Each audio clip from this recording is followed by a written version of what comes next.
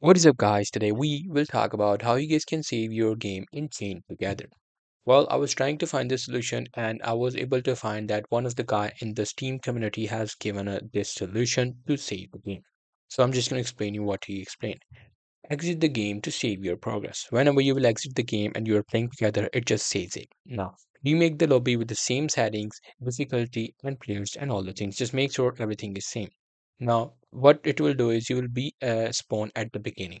Now here you just have to uh, press the escape key and then click load previous save button to teleport to where you were last were. So that's how you'll be able to, you know, keep on following and actually saving and reloading the previous version. Now, the saving process is pretty basic as I told you before. Whenever you leave the game, it will automatically save it wherever you left. If you create the same lobby with the same difficulty and all the thing, you will be able to, you know, uh, load it to the previous where you saved it. Unfortunately, you won't be able to do that if you are are trying to play with a new player.